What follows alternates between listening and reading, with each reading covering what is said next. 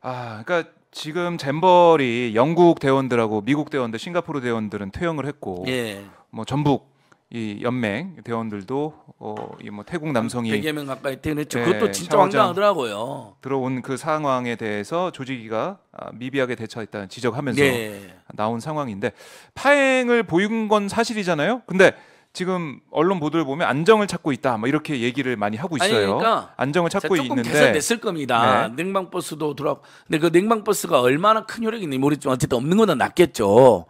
너무 더우면 들어가서 있으니까 계시는 것도 바꿔요 청소년들이. 네. 그다음에 뭐 화장실도 뭐 전라북도 공무원들 총동원해서 매일처럼 청소한다면서요. 네. 이제 와서 그런 것도 이해가 안 되지만 그렇게 해야죠.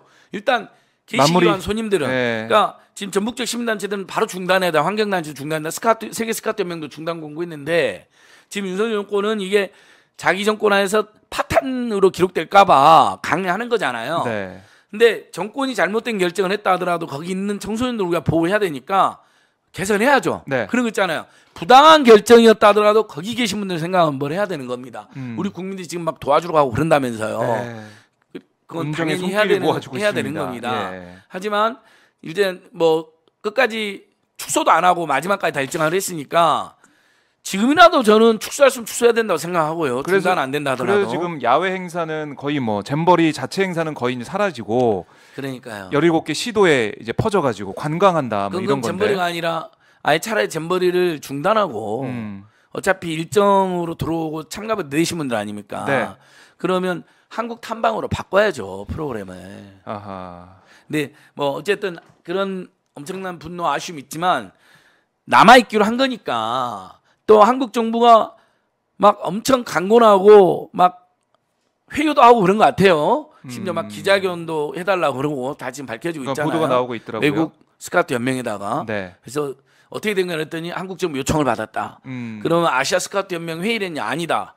내 개인적인 회, 결정 으로 기자회견 하는 거다. 뭐 네. 이런 거다 밝혀지고 있잖아요. 불리한 보도 막아 달라는 언론 통제도 있었다. 뭐 음. 영국에서 지금 영국 언론으로부터 지지 지그 지적도 있었고 정말 너무 너무 창피하고 부끄러운 상황인데 네. 어쨌든 계시는 동안 안전하게 우리가 금들 보호해야 된다. 음. 근데 이제 제가 어제 어, 풋살하러 간 이- 어, 용산 아이파크몰에 풋살장이 있거든요. 네. 실내 풋살장 앞에 영국 잼버리 참가 청소년들이 보이스카우트 어, 입고 철수한 예, 남녀 청소년들이 대원들이 15명 정도 와 있는 거예요. 시원하니까. 예. 자유 시간이니까 잠시 아, 와 아, 있, 예. 아이파크 구경하러 온 거예요. 어. 근데 이제 풋살장을 보고 들어오고 싶으면 풋살장이 더 시원하거든요. 근데 예. 그래서 저희들이 이제 들어와라. 그래서 어. 대화도 나누고 뭐 쟤랑 같이 있던 일행은 페이스북에 올려놓고 네. 패친도 막 맺고 그랬는데 어. 너무 너무 힘들었대요. 실제 그래요? 다리가 다 벌레 물렸죠. TV에 본 거하고는 훨씬 더 끔찍합니다. 어. 벌레와 모기한테 너무 많이 물려서 다리가 통째로 아예 빨갛게. 예, 통째로 수백 개의 상처가 있는 다리입니다. 아, 물린 자국이군요.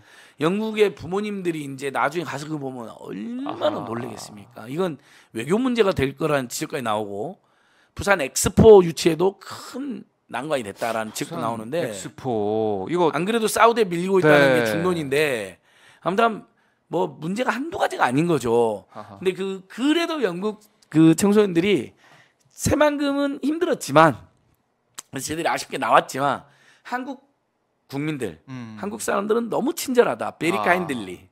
이야기하고 예. 한국은 참 좋은 인상을 갖고 있다라고 그래요. 이야기해서 저도 풋살장에서 제가 얼음물 많이 있으니까 얼음물도 드리고 아하. 막 아 we are sorry 뭐 우리가 미안하다 뭐 네. 어, 아. 저기 새만금 잼버리 포 네, 그랬더니 네, 그만하시고요. 아 영어로. 콩글리시로 다 알아들으셨어요. 네. 네. 괜찮다고. 아니 괜찮다고. 왜이 부끄러움 우리 국민들의 몫이고 예. 우리가 네, 미안해 가는 데마다 국민들이 그러나 봐요. 예. 영국 가는 데마다 한국 국민들이 미안해 한다고. 그러니까 우리 국민들은 대단하시죠.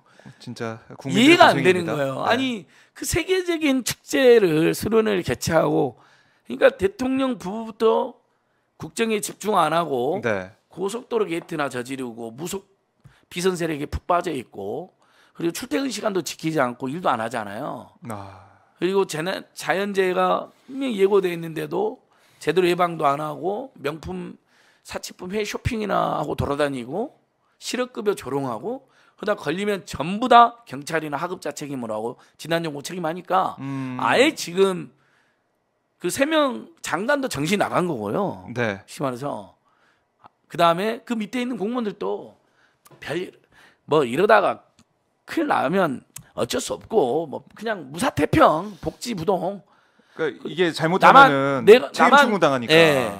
그렇죠. 뭐 또 적극적으로 했다가 오히려 네. 너왜 이렇게 열심히 해? 책임 충 당하는 분위기고 눈밖에 날 수도 있으니까 그냥 다 무사태평 복지부동 하다가 이 엄청난 참사 생긴 것 같아요. 그러니까 이게 준비할 수 있는 기간이 지난해에도 폭염이 있었고 이제 프레 잼버리까지 못하는 상황까지 있었으면 또 10월에 이원택 의원이 지적한 부분이 있었으면 일본에서 갯벌 잼버리 때 엄청난 게 있었잖아요. 있었잖아요. 폭염에. 그러니까 이것은 여러분 윤석열 정권의 100% 책임이라고 해야 됩니다. 그 조직위도 올해 확장이 돼가지고 부처 장관이 세 명이나 들어 예. 있었는데 이걸 대응하지 못했다. 명예총재 스카우트 명, 한국 명예총재가 명예총리가 대통령인데. 책임져야죠. 그세 명의 장관을 누가 지휘 통솔하죠? 대통령. 국무총리. 그다음에 뭐 한덕수 국무총리가 여러분 신문총리고 식물총리가 여러분 뻔히 다 알고 대통령이죠. 대통령실이고 음, 모든 국정 운영의 최고 최종 책임자이고. 네. 근데 도대체 뭐 하나 책임지는 게 있습니까? 뭐 하나 제대로 한 게 있습니까? 이태원 참사, 오송 참사 막을 네. 수 있었는데 전혀 막지 않고 그 책임자 윤희근이고 오세훈이고 김강호지만 네. 전혀 처벌하지 않고 탄핵당한 이상민이가 다시 살아나서 자기 안전을 이야기해요. 음, 그게 먹히겠습니까? 국민들이 행안부 공무원, 지자체 공무원들한테 신뢰를 주지 159명의 이태원 참사 책임자가 네. 공백기를 가지고 그때 만약에 장관이 새로운 사람이 임명돼 가지고 오송 참사 맞고 잼버리 준비했으면 더 잘했을 수도 있잖아요. 음, 이상민의 탄핵을 바로 탄핵이 가결된 순간 받아들여 가지고요 정권에서. 네. 근데 윤석열이 국민들을 이기려고 하고 야당하고 싸우고 자기는 잘못한 거 하나도 없다라고 단 하나 사고 안 하면서 지치근들 이상민 한동훈 온희룡만 끼고 다니면서 김건희 등 무속 비선 세력한테 완전히 파묻혀 있으면서 만약에 여러분 상상을 해보자고 이상민이가 국회에서 탄핵됐을 때 바로 경질했다고 생각해요. 새로운 행안부 장관은 와 다시는 이턴 참사나 한 50%는 이턴 참사 참사를 막고 하나는 잼버리 총괄을 시켰으면 오송 참사 막을 수도 있었잖아요. 반지하고 지하도에서 사고 났다. 네. 비 오면 다 막아라. 물이 고이기 시작하는 것만 확인되면 배수가 안 되면 그러면 막을 수 있잖아 로진상. 그다음에 전벌이 가서 했다고 생각해보세요. 내내 주- 이상민 몇 달간 공백이 있었잖아요. 네. 그렇죠. 근데 행안부 장관 그대로 뒀잖아요. 네. 당연히 준비를 제대로 전부 다 저는 전부 다 문재인 정부 탓이 아니라요. 저는 이건 100% 전부 다 윤석열 대통령 부부 탓이다. 윤석열 정권 탓이다. 이게 저는 이게 과학적이라고 생각합니다. 네. 그리고 공무원들한테 물어보십시오. 한번 일선 공무원들 똑같이 이야기합니다. 제가 다 물어봤습니다. 1년 반인데 지난 정권 탓하는 사람이 어디 있냐고. 음. 그래요. 여기에 대한 여섯 달만 줘줘도요. 책임. 여섯 달만 줘줘도 네. 4천만 명, 400만 명 온 행사도 아니잖아요. 4만 명 정도면요. 그래요. 어쨌든 이번 잼버리 대회 계속 지속하기로 했으니까 아무쪼록 별다른 탈 없이 잘 마무리되길 바라겠고 그것과 별개로 왜 이런 파행이 벌어졌는지는 책임을 물어야 된다고 하는데 네. 시청자분들도 그렇고 결국 전북도 전북도 압수수색 앞으로 지금은 이제 전라북도 전현직 지사한테 책임을 떠는 것 같아요. 예. 문재인 정권 책임 떠는 건데 반응이 이건 여론이 절대 오질 수가 없거든요. 너무 음. 황당하니까. 그러면 현재 어쨌든 전북도도. 같이 주관하고 민당 소속이니까 네. 아마 전라북도를 달달 못끌 거고 여가부 폐지가 공약이었는데 이참에 그 여가부 폐지도 힘이 여가부 확 빠진 거잖아요. 여가부 폐지 공약 때문에. 그래서 이원택 의원도 그걸 지적한 거고. 사실 그 얘기 하다가 나온 거죠. 예. 그러니까 아마 여가부한테 또 책임을 뒤집으실 수도 있겠죠. 지가 없앤다고 공약을 해가지고 그래서 이미 쭉 빠져버린 곳인데 그리고 김현숙 최측근 아닙니까? 여가부 장관 왜 하러 왔어요? 그랬더니 여가부 없애러 왔답니다. 네. 그 답했죠. 김현숙 씨가 야 살다 살다 장관이 임명된 사람이 지 부처를 없애러 왔습니다라고 음. 대놓고 말하는 사람이에요. 그럼 여가부에서 누가 일을 하겠습니까? 음, 힘있게 추진하지 못했을 거다 오히려 그런 상황이다. 자, 뭐 이 이 잘잘못을 따지는 이 파행의 책임 누구 있는지 이건 아마 대회 이후에 본격화 될 것 같고 일단은 여야 모두 이번 잼버리 대회를 잘 마무리하는 게 중요하다 이렇게 얘기하고 맞습니다. 있으니까 예. 12일에 이게 마무리가 되거든요. 예. 그런데 원래 어제 진행되기로 했었던 K-팝 이 공연 11일로 연기가 됐는데 전북 현대 축구단 아, 홈 경기장에서 전주 월드컵. 경기장에서 열리게 됐어요. 그래서 지금 보면은 여기서 열릴 걸로 예상됐던 8월 9일, 그다음 8월 12일 이 행사가 이 경기가 열리지 못하게 됐습니다. 그러니까 그래서 축구 팬들이 지금 난리가 났어요. 난리 났죠. 네. 결국 윤석열 정권이 총체적인 부실, 무정부 아. 상태. 이 정권은 여러분 무정부 정권이에요. 정부가 없는 정권을 제가 처음 보는데 네. FA컵 4강이면요. 그죠. 엄청 큰 행사입니다. 그럼요. 이게 홈에서 네. 하느냐, 아, 원정 가서. 유로리그라고 이거는 생각해보세요. 정말 유로리그. 많이 크죠. 유로 유럽 리그들 얼마나 큽니까? 클럽 대항전 정말 어마어마한 관심을 이끌 거는데 홈이냐 아니냐 이게 예. 또 영향도 많이 주고. 어떻게 저렇게 지 멋대로 할 아. 수가 있습니까? 지 전부 다 윤석열 윤석열 같은 폭력적이고 일방적이고 지 멋대로 하는 걸 그대로 배운 거예요. 아, 참. 그리고 이 K-팝 콘서트를 연기했다는 것에 대해서도 하도 정권 영마니까 음모론이 나오더라. 음모론인지 뭐예요? 정당한 음모론? 지적인지 네. 다 퇴소해서 망해버릴 것 같으니까 K-팝 콘서트를 아, 마지막 날? 함으로써 잡아놨다는 거예요. 그걸로 K-팝의 인기는 너무나 높으니까. 음, 그거 보고 그러면- 싶어 하는 분들이 많으니까. 그다음에 그럼 그 K-팝에 참가한 뮤지션들 있잖아요. 참가하기로 한 네. 걸그룹이란 이분들은 또 어떻게 됩니까? 음, 그래서 왜냐면- 뭐 출연자들이 바뀐다고 하던데. 그러면 그니까요. 근데 그러면 그 출연자들이 바뀔 텐데 다른 일정 있는 사람들을 회유하거나 음, 큰 돈을 들여서 데려오겠죠? 아, 그럼 예산이. 또 들어가는 거예요. 아, 아니면 다른 일정 있는 사람은 막 압박시 데려오면 그것은 폭력이 되는 것이고요. 네, 모든 게 엉망입니다. 엉망진창입니다. 네, 빨리 탄핵하고 퇴진시키는 것 말고는 답이 없다는 말이 나올 음. 정도입니다. 저는 개형식을 만약에 청소년들이 힘들어하고 쓰러질 거 알면서도 음. 그런 경고를 받았는데도 윤석열 부부를 위해서 강행했다. 네. 그리고 윤석열 부부를 위해서 그 청소년들 도열시키고 네. 이런 퍼포먼스 했잖아요.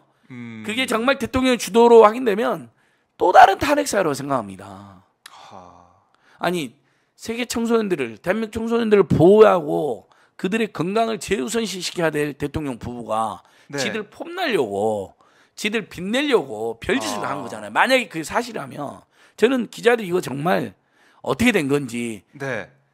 분명히 소방 당국에서 그것도 이제 따져봐야 될 부분이다. 취소해라고 했잖아요. 중단해라고. 뭐이 환자 발생해 가지고 중단하게 바로 중단 안 하고 뭐 불꽃놀이만 안 했다 이렇게 얘기를 하던데. 만지만 불꽃놀이면 아는 거 아닙니까? 네. 이것도 봐야 된다.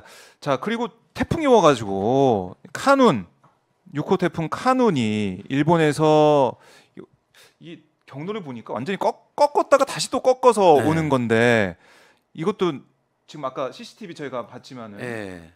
너무나 위험할 것 같아요. 그러니까 만약에 대응책, 대비책을 잘 세워야 될 것 같습니다. 온다면 더 위험한 상황이 될 수도 관통을 있죠. 한다는 거 아니겠습니까? 예. 부산, 대구 예. 10일에 지나가는데 거기에 있어서 이 텐트 뭐 여기 이걸 이게 또 날아가고 뭐 침수되고 이럴 염려가 있기 때문에 그럼요. 여기에 대한 대응책도 만반의 준비를 다해서 세워야 될것 우리 같습니다. 국민들이 네. 너무 열받고 또 해악은 넘치니까 이렇게 고속도로를 꺾어서 김건희 대통령 부부가 이렇게 꺾어갖고 보면서 태풍도 시샘에서 꺾었다라는 장난을 치시더라고요.